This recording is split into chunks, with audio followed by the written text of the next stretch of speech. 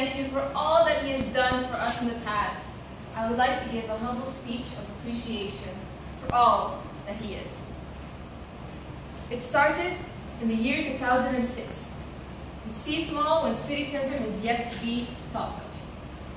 There we were, my best friend at the time, my sister, and myself, as we were walking towards a group of unfamiliar faces. And that was when we saw him. He was tall, he was white, he was handsome. That was the guy next to him. and this, and he, was almost the exact opposite.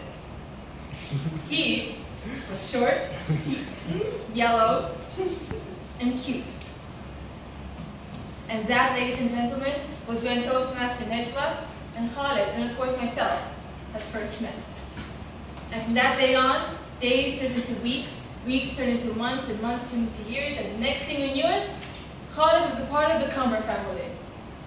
And it was a huge blessing to have him a part of our family, because whenever we would go out as a family, there'll be my father, who was the tallest, my brother, who was the second tallest, and there's Nasreen, Nejla, Khalid, myself, and of course the shortest of them all, my mother. So if you think about it, it goes like, so you see, it's perfect for him to be a part of our family because he doesn't break the line. He literally fits in.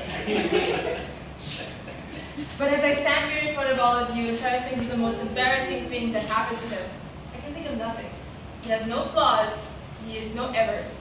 As my mother would say, he's the perfect son-in-law. He's the perfect small man with the perfect small orange car. The car and Khalid are quite similar, don't you think?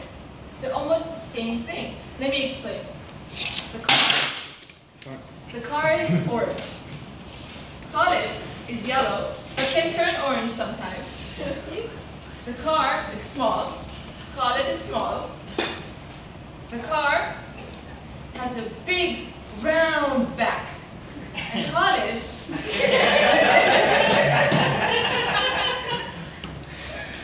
When he first joined Toastmasters, I'm sure some of you remember, he was a little bit smaller back then.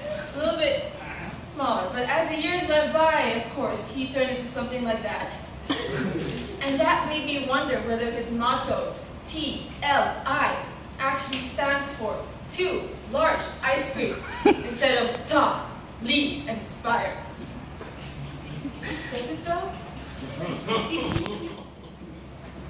it amazes me at, at how much the audience uh, is attracted to Khalid. That makes me think of how they can easily feel and get into his vibe. And that makes me really think of what goes on inside that brain of his, inside that mind of his, besides his wife, food, and his toys. I'm sure some of you remember if you were all during, if you were all here during a geek pride meeting, there was a bunch of toys right in front of the room. Do you know where those toys came from? From him. but most importantly, do you know where those toys have been?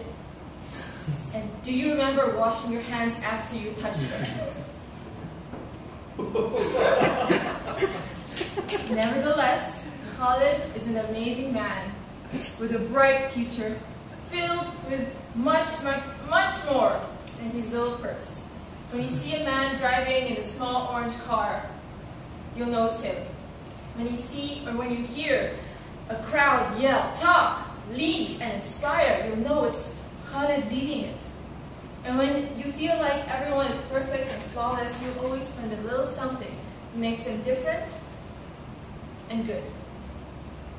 So here's to you, Khalid. Continue to eat more ice creams. To talk, lead, and inspire. Happy birthday. Oh.